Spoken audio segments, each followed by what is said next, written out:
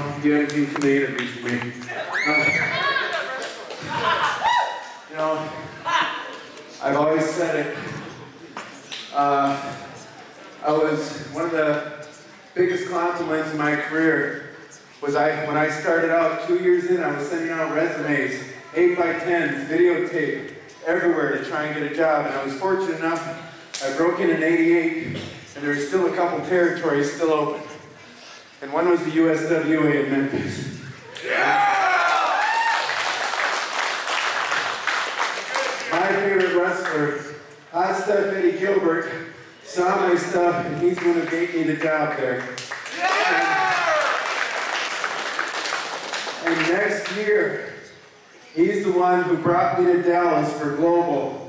And I was so thankful because I, I grew up a fan. And just being in the sportatorium, it was so nostalgic.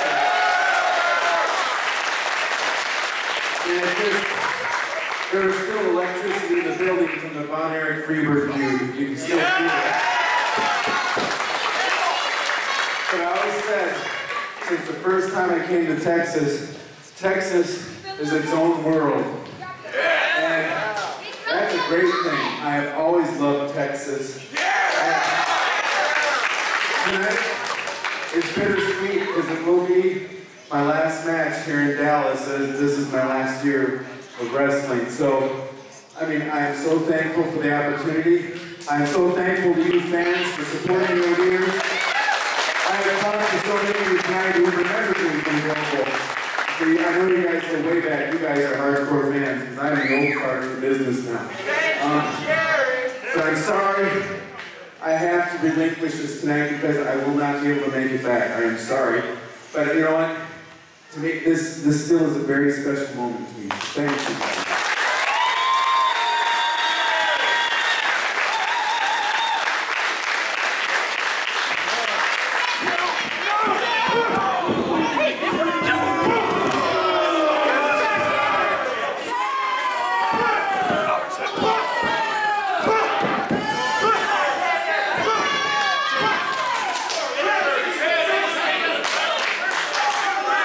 Jerry Lynn!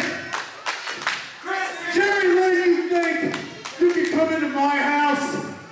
You think you can come into my house and steal what belongs to me? I didn't even get paid. That match was bullcrap. You want to come in and you want to steal something that I worked so hard to get, something that you're just going to throw away? Since you want to steal something from me, I'm going to steal something from you. Tonight, I'm going to retire you. I'm stealing your career.